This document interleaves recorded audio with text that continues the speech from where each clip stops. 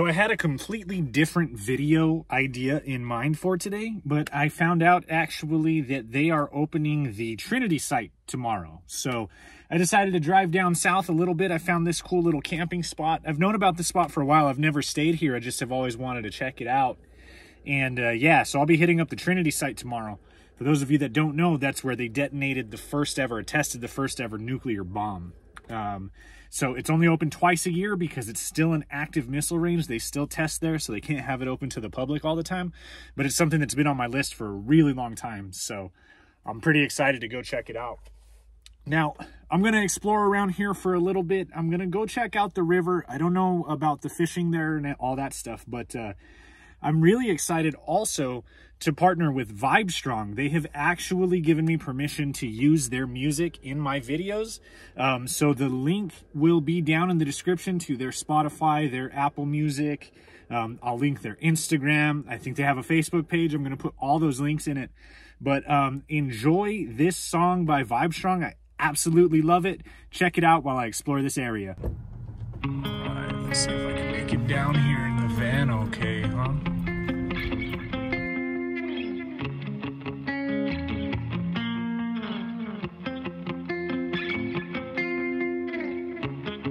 I must say, you inspire hopes and dreams of a musician. Could all that ties me down blow it in the wind? I cannot say this was my plan. Whoa, so cold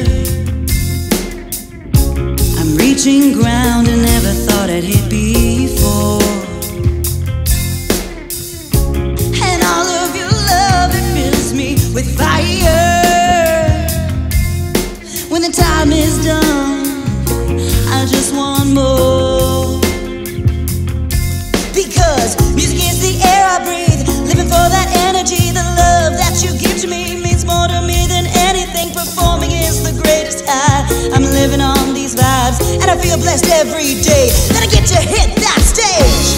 floating with you.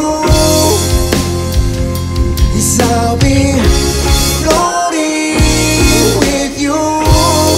Yeah, I'll be floating with you. Yes, I'll be floating with you. Yeah, when I don't know, no.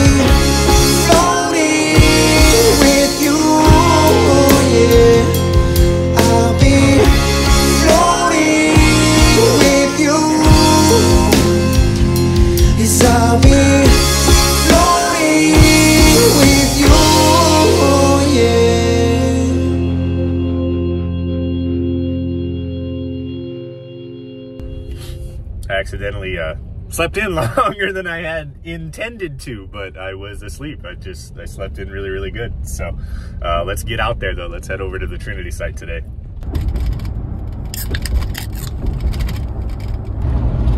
I'm actually anticipating that it's going to be a little bit, uh, little bit busy up here. I'm, I'm getting like, there's usually when I'm driving a road like this, it's just a two lane highway. It's, you know, seven in the morning and uh, usually there's not a whole lot of traffic, but there's a ton. There's a lot of campers. There's a lot of like vans. There's a lot of out of state plates. And uh, I kind of feel bad because I drive slow. I drive so slow. I, I, I, do the exact speed limit or five miles under when I'm in the van. Um, and most of the time just just in case I see something that I want to uh, stop and take a picture of. So I drive so slow, so it's like everybody's just passing me. But I actually I think it's gonna be pretty busy there. But today is gonna be a good day. It looks like I'm not seeing a whole lot of uh, wind, which is gonna be really nice because the wind has just been killing me these last few weeks. I'm very excited. Can't wait to get there. I'm like 25 minutes away right now. So I I took a wrong turn somewhere. I've been on this dirt road for a while and uh, I ended up on the north side of a locked gate. Okay, so I found the right road. Now I'm on the right road. Google tried to take me through a shortcut, but you cannot take a shortcut onto a U.S. military base. So Google was like, uh, here, this is a, a faster route, but you, you can't do that. So they opened the gate like 20 minutes ago, and we've been kind of moving in in waves but you can see there's actually let's see if I can get that to focus quite the line of traffic behind me and in front of me so tips and tricks I guess would be to uh, get here early maybe line up at the gate before they even open uh, that way you don't have to wait as long in this line could have been here a little bit earlier but you know wrong turns and missing signs and not paying attention and stuff Trinity Site is where the first atomic bomb was tested at 5:29 a.m. Mountain Time on July 16, 1945. The 19 kiloton explosion not only led to a quick end to the war in the Pacific, but also ushered the world into the atomic age. All life on Earth has been touched by the event which took place here. The 51,500 acre area was declared a National Historic Landmark in 1975. The landmark includes Base Camp, where the scientists and support group lived, Ground Zero, where the bomb was placed for the explosion, and the Schmidt McDonald Ranch House, where the plutonium core to the bomb was assembled. Visitors to Trinity Site Open House are given the opportunity to visit Ground Zero and the ranch house. In addition, one of the old instrumentation bunkers is visible beside the road just west of Ground Zero. The story of Trinity Site begins with the formation of the Manhattan Project in June of 1942. The project was given overall responsibility for designing and building an atomic bomb. At the time, it was a race to beat the Germans, who, according to intelligence reports, were building their own atomic bomb. Under the Manhattan Project, three large facilities were constructed at Oak Ridge, Tennessee. Uh, huge gas diffusion and electromagnetic processing plants were built to separate uranium from its common form. Hanford, Washington became the home to nuclear reactors which produced new a uh, new element called plutonium. Both uranium and plutonium are fissionable and can be used to produce an atomic explosion. Los Alamos National Lab was established in northern New Mexico with the primary purpose of designing and building the bomb. At Los Alamos, many of the greatest scientific minds of the day labored over the theory and actual construction of the device. The group was led by Dr. J. Oppenheimer, who is credited with being the driving force behind building a workable bomb by the end of the war. Right here, you can see actual pictures from the explosion, which was really cool. So this is all, this is within you know a quarter of a second right here. That's what it looked like. And as the bomb's going off, you can see that getting bigger and bigger, and then it goes into like the typical mushroom cloud, uh, like three or four seconds. Oh, there's 15 seconds. That's what that says. So yeah, 15 seconds. It goes off the mushroom cloud. Here's an aerial view of like the crater and the devastation afterwards. This is still there today. That's the footing uh, of the original tower that the bomb was actually on. And then this is just a replica. You can see right here, this is a post World War II atomic bomb casing, almost identical to the Fat Man bomb, which was dropped on Nagasaki, Japan in, uh, during World War II. The average fireball temperature from a nuclear explosion is 14,700 degrees Fahrenheit, which is just crazy. So they have a, uh, a bus that takes you to the uh, house that they actually worked on all this stuff on. So I'm going to see if I can hop on that bus and go out there. So this bus is taking me to the Schmidt McDonald house, which is where the engineers actually worked on assembling the plutonium core of the bomb. Although no information on the test was released until after the atomic bomb was used as a weapon against Japan, people in New Mexico knew something had happened. The shockwave broke windows 120 miles away and was felt by many at least 160 miles away. Army officials simply stated that a munitions storage area had accidentally exploded at the Alamogordo bombing range, which was a lie. And this house had the windows blown out and a lot of damage was done to the roof and the barn i think is no longer there um, so this house had a lot of damage but the army did rebuild it in i believe it was the 70s so the explosion did not make much of a crater it was about four feet deep and 240 feet in diameter most eyewitnesses described the area as more of a small depression instead of a distinct crater, which is true because being there, you didn't really see a whole lot. Um, there wasn't really a, a big crater.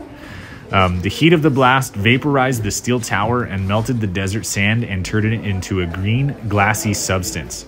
It was called trinitite. You can still find the trinitite uh, there at ground zero and you can pick it up and everything. It's a little bit radioactive, I believe, but you can pick it up and handle it. You're not allowed to take it though. They do have signs posted like if you pocket trinitite and we find you, you will be arrested. But the funny thing is, driving out, I saw people selling it. So I'm like, how did you guys end up getting it if you're going to be out there selling it? So uh, which is pretty crazy. But they ended up bulldozing basically and burying all the trinitite and um, you know the radio radioactive. What's the word that I'm looking for? The radiation there is not very uh, high. It's it's not more than like the sun gives you, which I, I thought was really weird. So, also if you ever go, there's a really good place to get a green chili cheeseburger right up the road. So I hope you see this one day. So you guys are going to have a lot of information coming at you for sure. Uh, right now, I'm going to enjoy the seventh best cheeseburger in the United States. And uh, other than that, that's the end of this video. So I will see you guys next week. Thanks for tuning in. Um, I don't ask that often, uh, but you know, like and subscribe. Let's go. Let's go. I'm this close to like being one of those guys that can like do YouTube.